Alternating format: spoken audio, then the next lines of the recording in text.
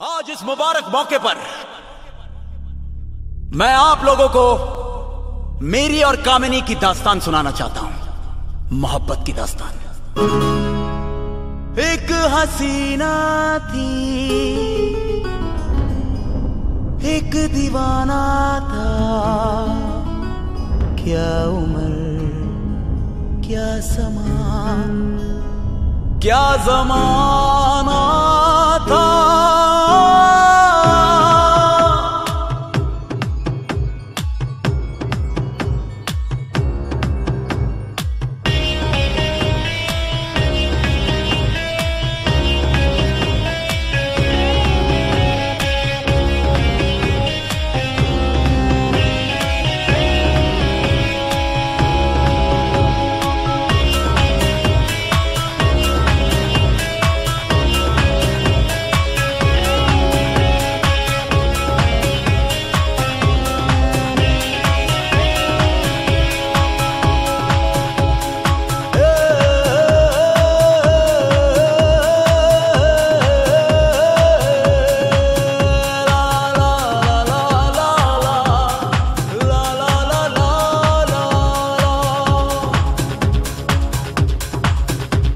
así.